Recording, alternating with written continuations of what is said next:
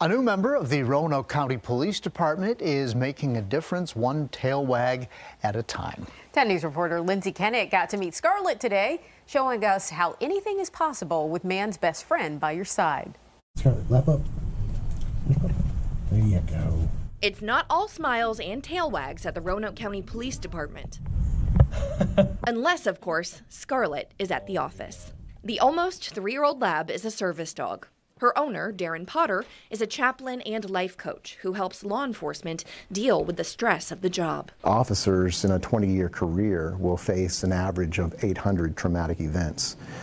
Uh, when the average person in, in society will only face uh, a little less than two on average in a lifetime. After working with the county for years, thanks to the wise advice of his wife, this October, Potter worked with nonprofit Mutts with a mission to find his new four legged business partner. She was the perfect match. She, she was the calmest one. As a service dog, Scarlett is trained to perform a variety of tasks. But most importantly, Scarlett, lap up.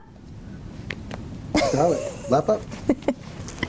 is to provide comfort. She just calms things down, it can lower the heart rate, it lowers the anxiety. On average, Potter works with about 500 officers across the Roanoke Valley. He also provides services across the Commonwealth.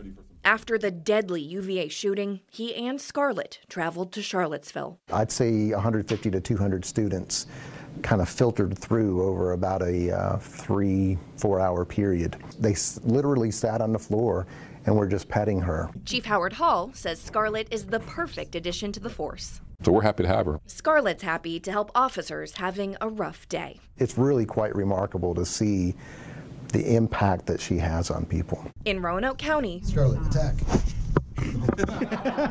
Lindsay Kennett, 10 News, working for you.